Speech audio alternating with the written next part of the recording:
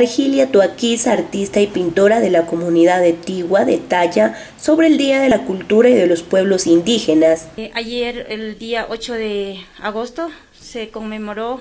Día de la Cultura Nacional. Eh, esto es importante y vale resaltar que para el pueblo indígena es muy importante ya que a través de nuestra cultura, nuestra tradición, nuestras fiestas, nuestra forma de hablar, nuestro idioma, eh, nuestras artesanías, nuestra vivencia, nuestra vida cotidiana, nos podemos expresar, nos podemos demostrar, nos podemos entregar a los propios y extraños nuestra cultura, nuestra riqueza cultural que tenemos como, como pueblo quichua, como pueblo panzaleo.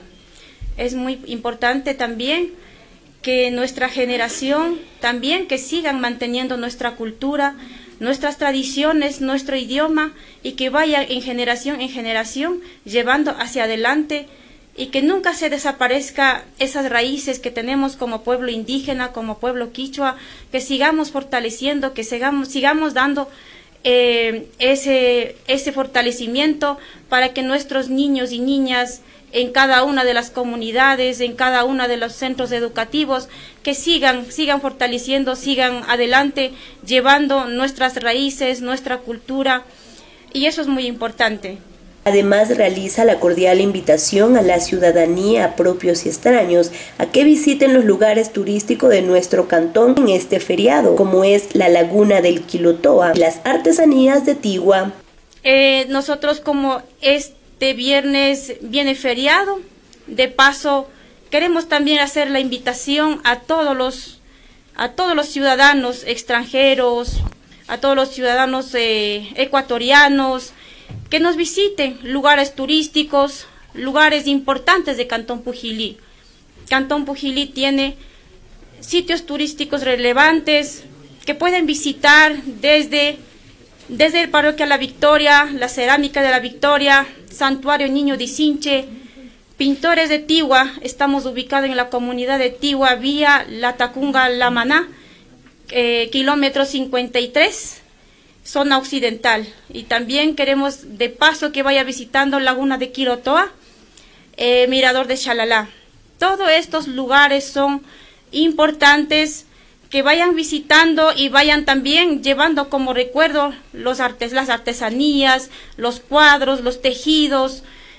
que vayan llevando como recuerdo y eso es importante que valoren a nuestra cultura, a nuestra artesanía, que día a día nuestros artesanos siguen luchando, siguen trabajando y sacando adelante a la familia, a la comunidad y en sí al cantón también. Por último, hace un llamado a las autoridades para potenciar más a estos centros turísticos que son íconos del cantón Pujilí. Eh, es muy importante, nosotros como artistas y artesanos solicitamos que, que las instituciones, las autoridades intervengan también que ayuden, que trabajen conjuntamente, coordinadamente con los artesanos, con las comunidades, ya que hace mucha falta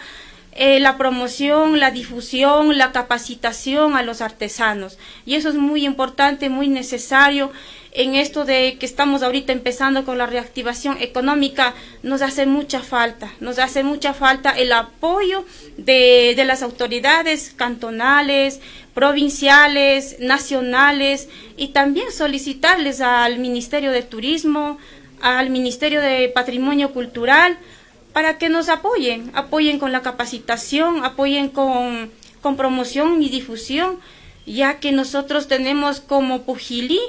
como parroquias rurales y como Ecuador mismo, tenemos nosotros eh, sitios eh, turísticos, tenemos pintores, artesanos, eh, hacen cosas tan maravillas y que hay que explotar, hay que seguir fortaleciendo, hay que seguir apoyando y eso es lo que necesitamos nosotros.